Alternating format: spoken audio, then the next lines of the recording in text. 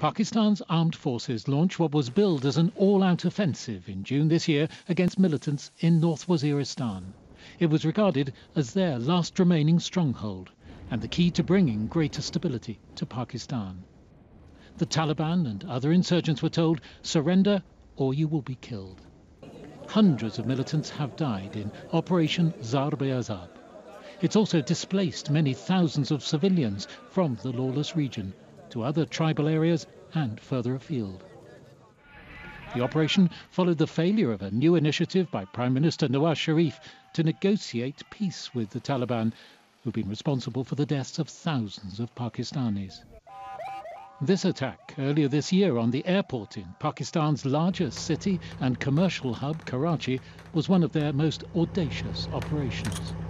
It was the airport attack that finally sabotaged the attempt to start peace talks, always controversial and opposed by those who argued it was doomed to failure.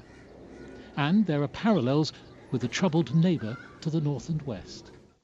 The recent history of Pakistan and Afghanistan are linked not only through their people and the huge refugee exodus from here to the Peshawar area in particular from the Soviet occupation of Afghanistan onwards, they're also linked through the volatility and the conflict on both sides of the border. The two Talibans, the Pakistani and the Afghan, have their different agendas but common roots and ideology. And in recent weeks here, the security forces have been battling to contain an upsurge in Afghan Taliban suicide bombings and other attacks. Just ahead of the US and NATO completing their withdrawal of their combat troops.